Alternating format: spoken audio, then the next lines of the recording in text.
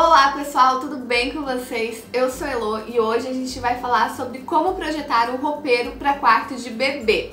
Então, se você já gostou do tema, deixa seu like, se inscreve aqui no canal se você não é inscrito ainda. Bom, quem me acompanha sabe que eu fiz um projeto para o quarto do bebê da Amanda Domênico Ravi.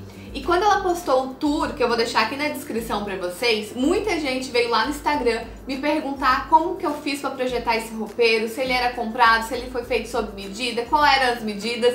Então por isso eu resolvi organizar todas as informações nesse vídeo para compartilhar com você que também está projetando o quarto do seu bebê. E sim, ele foi feito sob medida, com tudo que a Amanda foi pedindo e conforme as necessidades que ela tinha pro bebê, mas que geralmente são as mesmas, né? Porque um bebezinho sempre tem todas as roupas certinhos, tamanhos, então vai ajudar muito vocês. Bom, então para começar mostrando para vocês esse roupeiro, eu separei uma imagem onde a gente consegue ver certinho todas as divisões dele, setorização, para que ficou cada espaço desse roupeiro.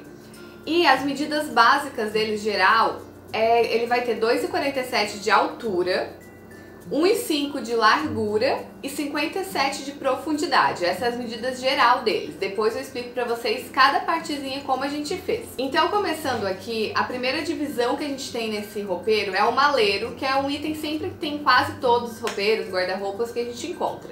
Mas aqui a gente colocou ele porque é bom para estar tá guardando as bolsas de maternidade, a mala se você tem já para o seu bebê, ou até mesmo um edredom, coisas com volume um pouco maior ficam nesse espaço. Como a gente colocou ali, às vezes, um cesto com brinquedo. Então, dependendo da sua necessidade, você pode colocar nesse espaço essas coisas mais volumosas. Depois dessa segunda parte que a gente tem aqui do roupeiro, a gente dividiu em duas. Onde uma ficou para o cabideiro, que geralmente essa altura é utilizada para um cabideiro adulto. E aqui a gente dividiu para dois infantil. Então aqui até uns 5 anos, provavelmente de idade, vai conseguir armazenar bastante coisas nesses cabideiros. Do outro lado, a gente tem as prateleiras, que também é sempre importante a gente ter né, prateleiras no roupeiro, onde você pode estar tá, é, organizando conforme o seu jeito de organizar, as suas necessidades, os itens do seu bebê aqui nessa parte. E embaixo das prateleiras a gente colocou sapateira, que foi algo que a Amanda, né, que foi para quem a gente fez o projeto, pediu que ela gostaria de ter. Então aqui a gente colocou três divisões de sapateira, que eu acredito que até uns 3 anos de idade vai ter espaço ali certinho pro calçado. A partir daí, você pode depois com seu marceneiro modificar esse espaço, tirar uma sapateira, deixar só duas, ou substituir por mais prateleiras. Então, conforme a sua necessidade, esse espaço aqui do roupeiro você pode estar tá alterando depois sem problema. E aqui nessa terceira parte, a gente deixou para as gavetas. Então ficaram quatro gavetas. A gente não fez divisões internas para ela, por quê?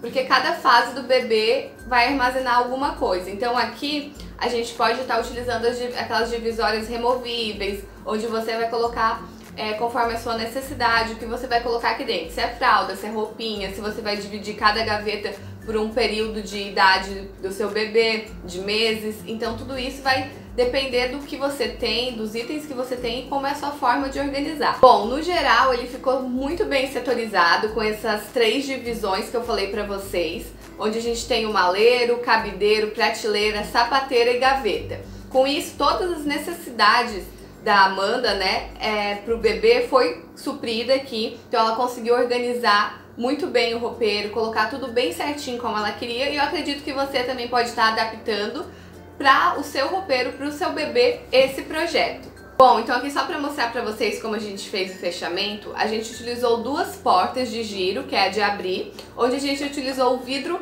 reflecta prata, que é esse que ele fica um pouco translúcido, mas ele fica também como um espelho, assim. Então é um vidro muito legal para roupeiro de bebê, muita gente gosta e traz uma leveza para o pro espaço onde ele está inserido, né? Então, com certeza é uma ótima opção também para você fazer no seu roupeiro. Mas você pode usar uma porta é, de MDF normal ou alguma outra que você já goste e queira fazer. E ficou lindo o roupeiro, né? E eu sei que vocês vão me pedir medida de cada item que tem ali, de cada setor que eu mostrei pra vocês.